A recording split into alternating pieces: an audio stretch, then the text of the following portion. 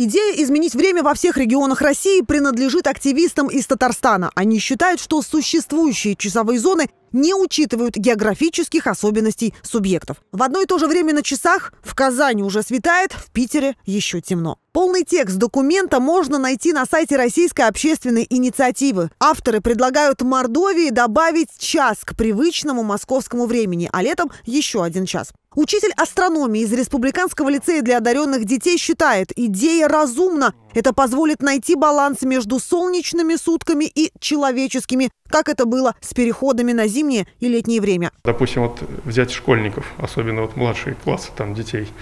Э, уроки начинаются в 8.30, пусть в 9, да, вот, заканчивается в 14, где-то в 15 часов вот, в такой среднестатистической школе.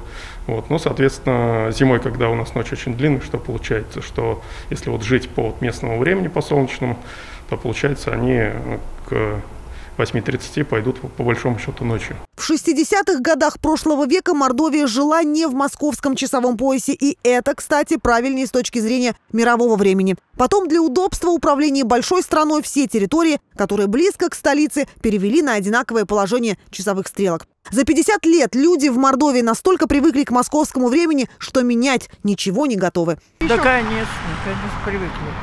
Но я с пенсионером, я считаю, все равно, но рабочим представьте себе. Я бы оставил все как есть, на самом деле. Я приверженец старого. Соседняя Ульяновская область уже пять лет живет по своему времени. Минус один час от Москвы. Это гораздо удобнее, говорит журналист местного телеканала. Если и были сложности в начале, то сейчас они забыты. Возвращаться назад, а точнее вперед по стрелкам часов жители области не хотят. И рассветы в половине третьего утра летом, а также закаты тем же летом в 8 часов вечера никого не обрадовали на самом деле. А, поэтому после после долгих достаточно обсуждений э, на всех уровнях, начиная от э, социальных сетей, заканчивая правительством региона, э, было принято решение перейти в зону так называемого самарского времени, но теперь мы говорим уже нашего времени, это очень удобно. Сейчас а, никакой, в принципе, э, сложности в удалении на час от Москвы мы уже не чувствуем. В Саратовской области тоже спорят, возвращаться к московскому времени или нет. Проблема в географическом положении региона. Он вытянут по широте.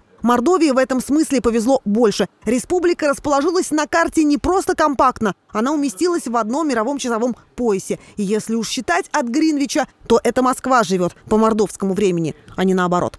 Людмила Кусерова, Игорь Гангаев. Наши новости.